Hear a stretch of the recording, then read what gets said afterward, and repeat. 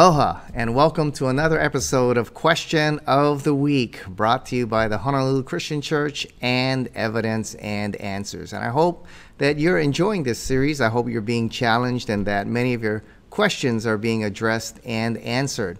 And remember to hit that subscribe or that like button that you see there at the bottom of your screen, or go to the Honolulu Christian Church website or go to evidenceandanswers.org and check out our website. Tremendous resources for you there. Or you can go to my YouTube channel, uh, Patrick Zukeran, and subscribe there on our YouTube channel so that you'll receive an update every time we produce something new. Well, the question of this week is this Can someone be serious about science and Christianity? In other words, can someone be serious about science and be a committed Christian who believes in the Bible? You know, it wasn't too long ago I was at the gym and uh, one of the trainers was talking with me and she asked me a question. She said, What do you do? And I said, Well, I work for a Christian organization. And she stopped me right away and said, Oh, Christian, that's religion. I'm not into religion because I'm into science. I'm into science. That's what she was saying. And I looked at her and I said, Well, I'm into science too. And that's why I'm a Christian. I said, The Christian worldview gives the best explanation of the scientific data that's out there. And she looked kind of surprised. And she looked at me and she said, Well, you do believe in Darwin, don't you? And I said, Well, Darwin never answered the origins question. How do we get life from non life? And how do we get the various forms of life that we have today?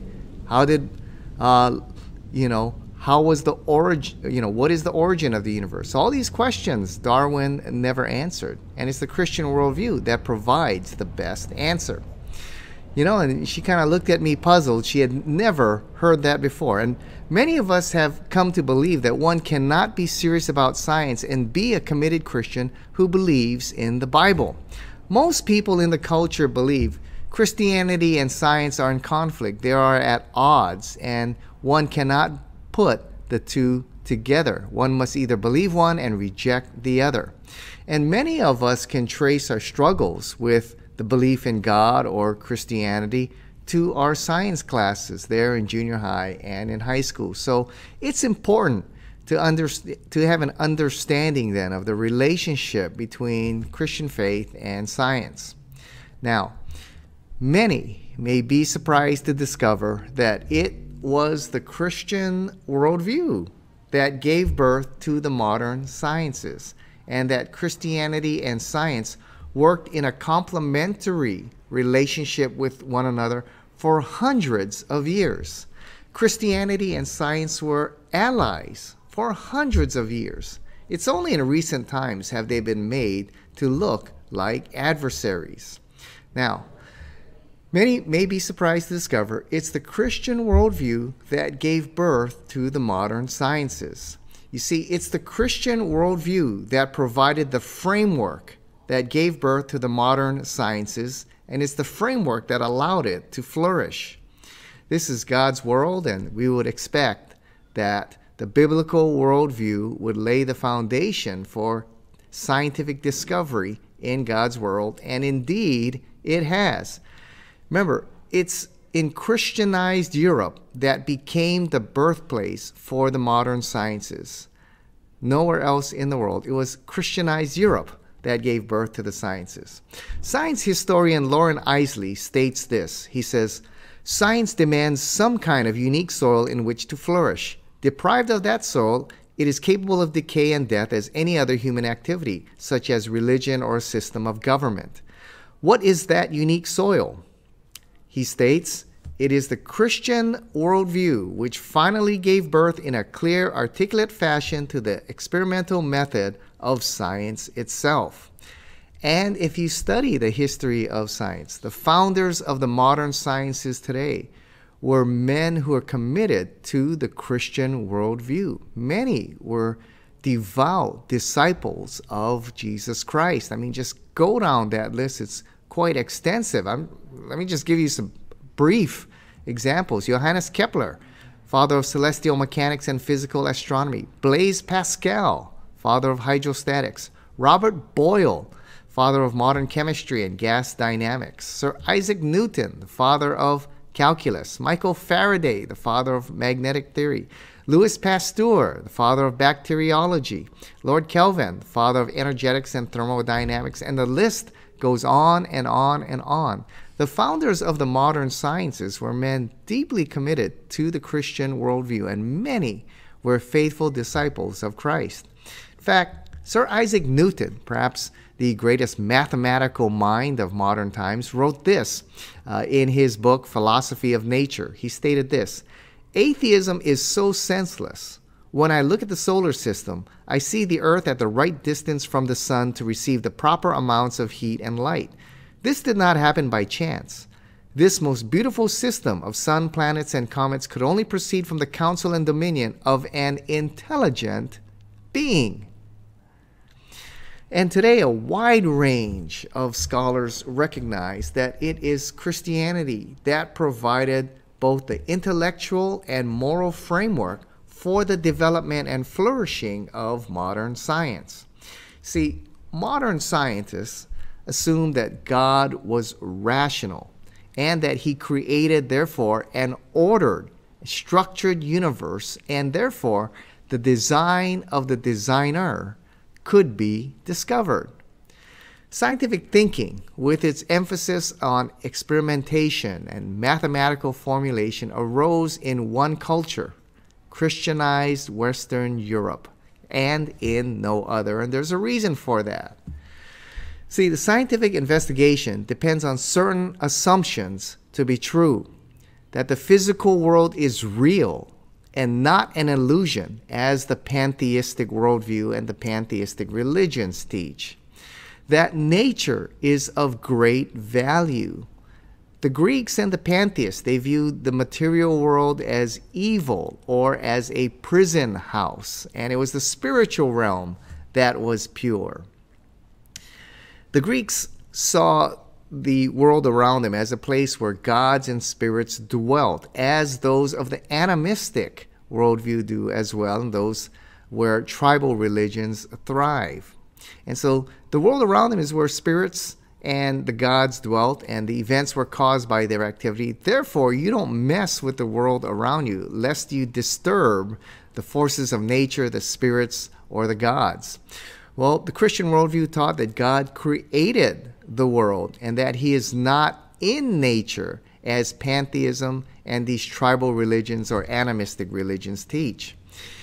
Also, the Christian worldview taught that men can experiment and analyze creation, and they don't need to be afraid of disturbing forces or spirits or the gods.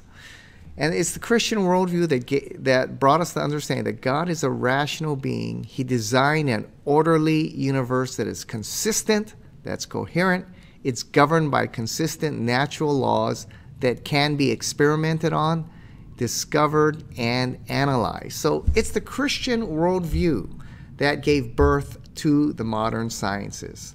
And not only was the Christian worldview the beginning of the sciences, it is also the end of science as well. See, science begins with Christianity. It set the framework for modern science to develop and flourish.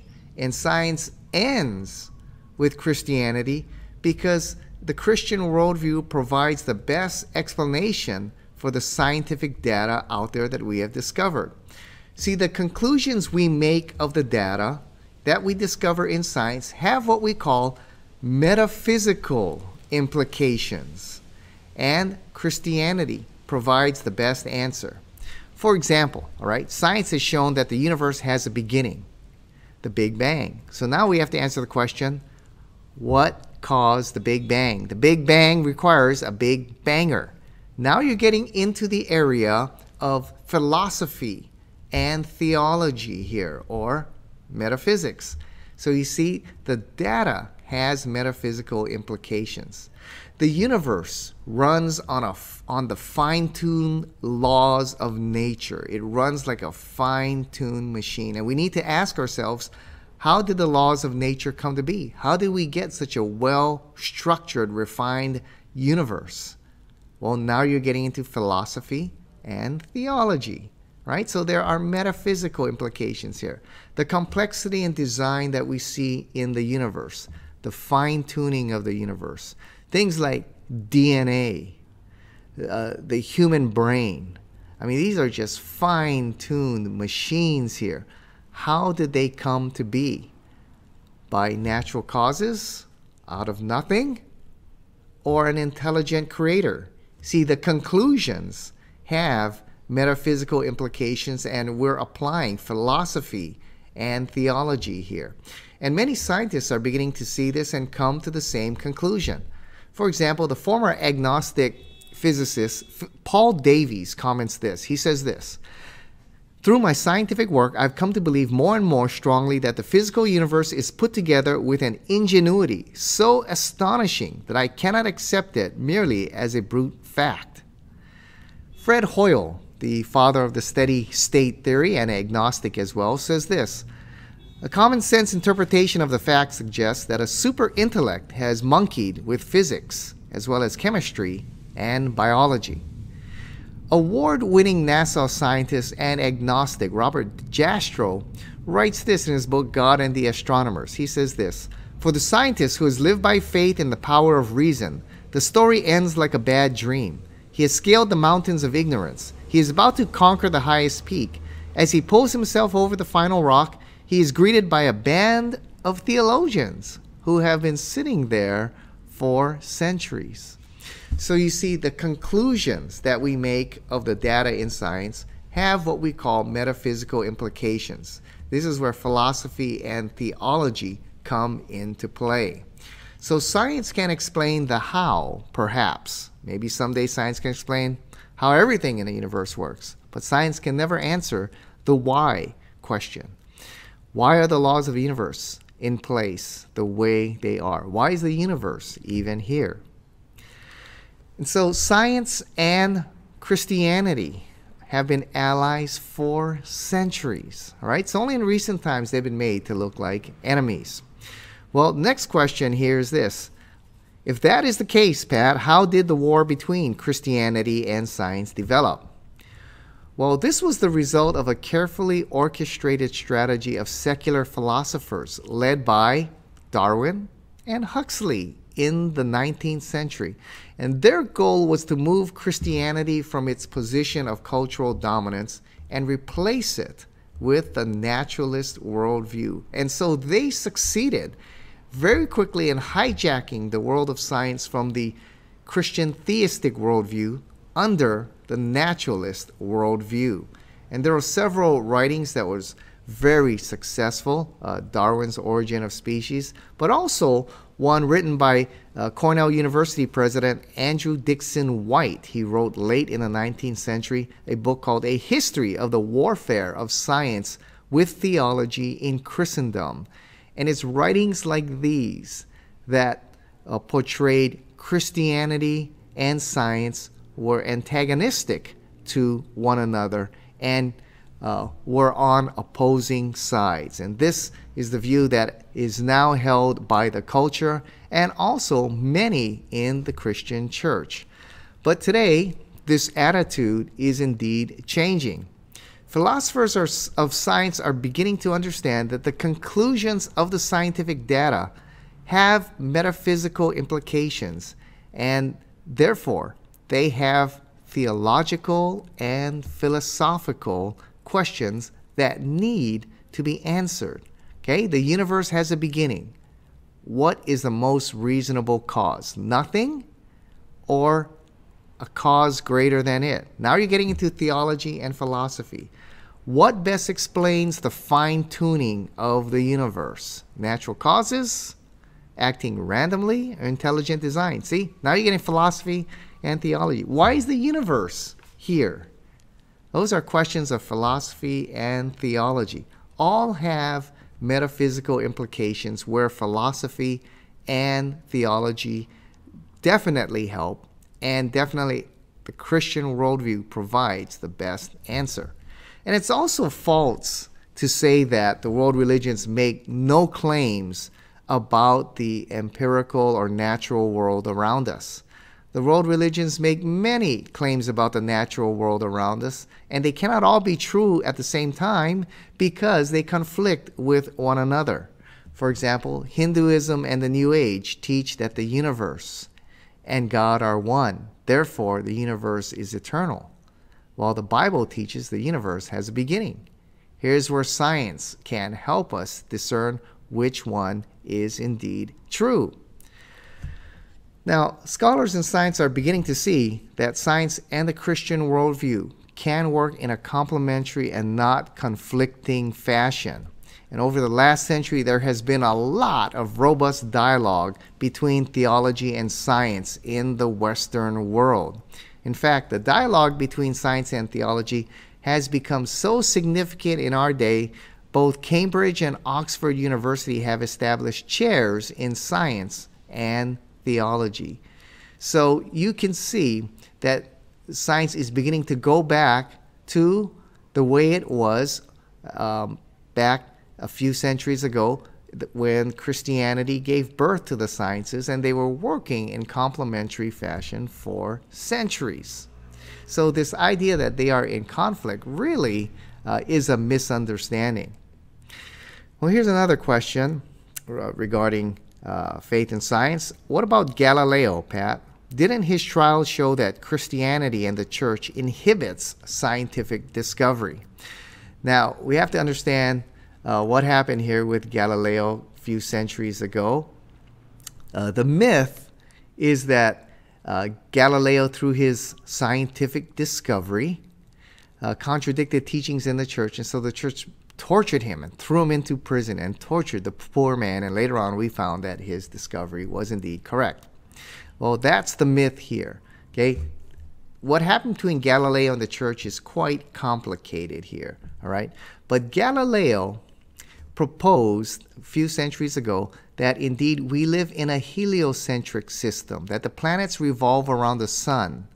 The majority of scientists held in his day a geocentric view, that the planets revolved around the earth. This was taught by Ptolemy and Aristotle, and the scientific world of Galileo's day held to that position, and therefore the church and the culture also held to that position. And there seem to be passages in the Bible, like Psalm 93 1, the foundations of the earth are immovable, that seem to support the idea that the planets revolved around the Earth. Well, when Galileo proposed his theory, there was not enough evidence to support his case there. And so Galileo was asked not to teach his theory as fact because it did not have enough support at that time. However, Galileo, being a uh, abrasive kind of person in his writings, responded in an inappropriate way and in his writings, he wrote that whoever rejected his heliocentric model was actually ignorant and foolish. All right, so this created conflict between Galileo and the scientific community and the church. And where Galileo ran into trouble with the church was that he wanted to reinterpret the Bible according to a, the heliocentric model that he was proposing. Now, this is where it gets a little complicated because right about this time, this is when the Protestant Reformation was coming on, and the Protestant Reformation was teaching that every individual has a right to interpret the Bible, which conflicted with Catholic teaching that only the church has the right to interpret the Bible. And so Galileo coming and saying he wanted to reinterpret the Bible the Catholic Church at this time was very sensitive about who interpreted the Bible. So, in the end, Galileo was condemned by the church, but he was not thrown into a dungeon or tortured. He spent the rest of his days at his country estate overlooking the city of Florence, where he was attended to by servants and even his daughter. A generation later, when the heliocentric model was indeed confirmed by more sophisticated equipment, finally, the church accepted it without much controversy there. So the church has led the way on science and really has been uh, the foundation, you know, it's the Christian worldview that gave birth to the sciences. And so the Christianity and the sciences have been working in complementary fashion here. Well, Here's another question Pat, can science ever replace religion? Answer no. Remember, science explains the how of the universe, but not the why. Remember,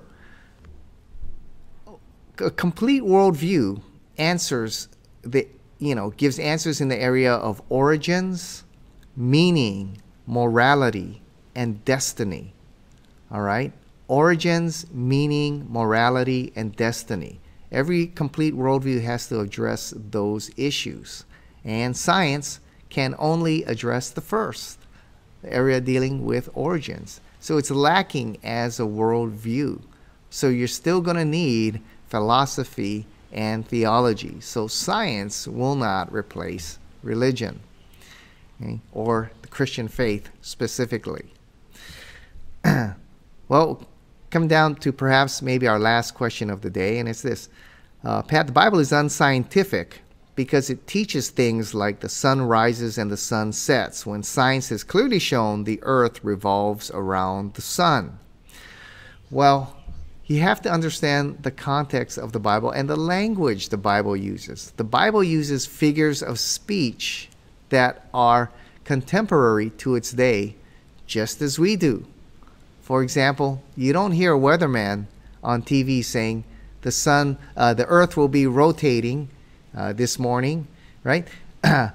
or you don't see a couple walking on the beach saying, What a beautiful rotation of the earth, right? Even the weatherman says, What a beautiful sunset, or the sunrise will be at 6 a.m. this morning. They still use the term sunrise, sunsets.